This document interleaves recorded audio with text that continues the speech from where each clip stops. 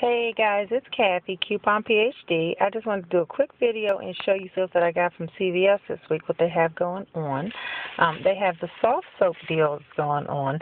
And um, with the soft soap, the soft soaps are um, they're two for seven, so they're three fifty each. And then after you buy two, you will get four dollars back in ECB, so they end up being a dollar fifty each. I don't have any soft soap coupons, or I would really smash them with this because I love these two um, formulas of the soft soap, but they end up being a dollar fifty, which isn't bad. So I got a couple of those, and I got four dollars back. Um, the Dial soap, the bar soap, is on sale. Dollar eighty-eight, and then you get um, a dollar back in ECBs when you do this, so they end up being eighty-eight cents. I thought I had some coupons for um, a dollar off the bar soap, but I had it so confused I won't even go there. But the coupons I thought they had I had had expired, and it was a dollar off or three, so.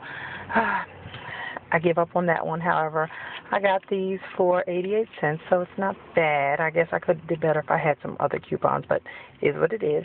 And then um, CVS has the deal on the Wet and Wild this week, and roughly they're running inside the store. They're 99 cents to 2.99. They're also at CVS buy one get one 50% off. So um, I ended up getting these. Um, the way I coupled them, I used the. Um, I could have just got one for free, one for free, but I ended up spending probably about three dollars on all of these, but I had ECB, so I really didn't spend anything out of pocket um, on these. But you can you could probably manipulate that deal to work whatever way you want to. Um, these the lip glosses were a dollar ninety nine, and the smaller fingernail polishes were ninety nine cents. They did have some other ones that were a dollar ninety nine, but um, roughly not bad if you got the coupons from the Red Plum this past weekend.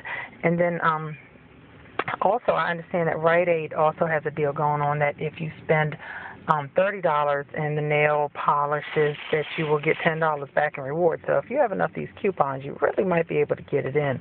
Um, I'm going to be going to Rite Aid to go check that out because I do have a $10 up reward from Rite Aid, so I might be able to go ahead and you know, well, I'm sure I won't be able, need to spend anything out of pocket on that one, especially using the coupons because I do have a few more. But um, anyways, this is all from CVS. Hope you guys have a great day.